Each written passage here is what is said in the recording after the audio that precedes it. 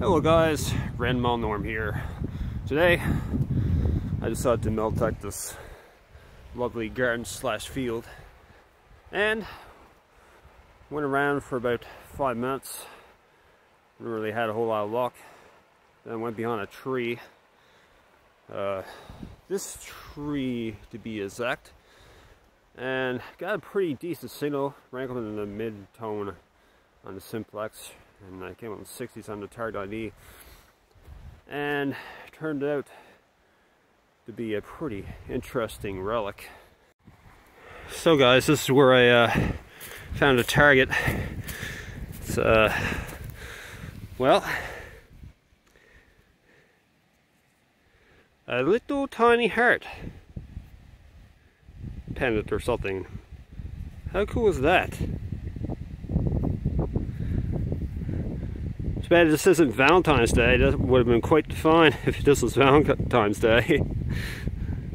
but yeah, check it out, guys. Let's see what rings up on the simplex.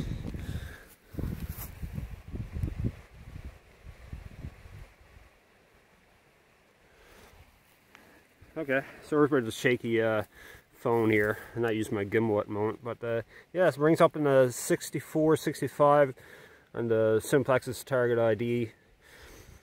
And uh, yeah, it gives me a nice clear mid-range tone. I got my discrimination down on the Simplex. So yeah, awesome. How cool is that, guys? Little tiny heart pendant. So sweet. Alright, let's go find some more, if there's anything left.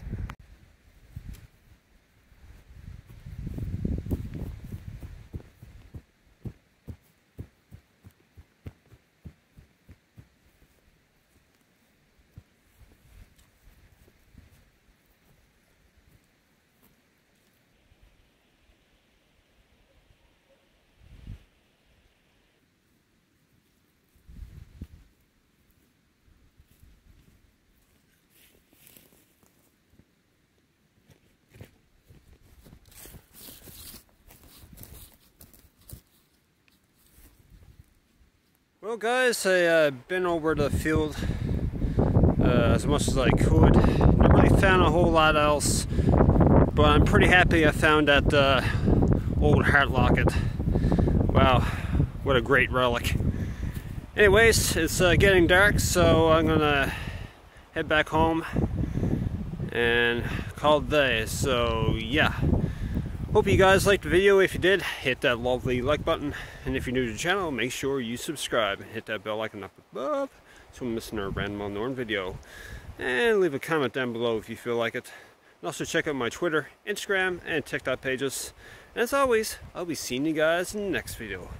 Now, I'm do not know when the next video is going to be because I'm uh, got hired on to a job at the local fish plant. So anyways, uh, there will be more videos, just know when. Metal detecting videos, Mahindra Roxor videos, exploration videos, who knows.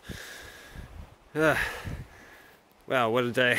I can't believe I found that relic here. I mean, this field's pretty devoid of uh, any uh, interesting relics, so yeah, that was quite the surprise.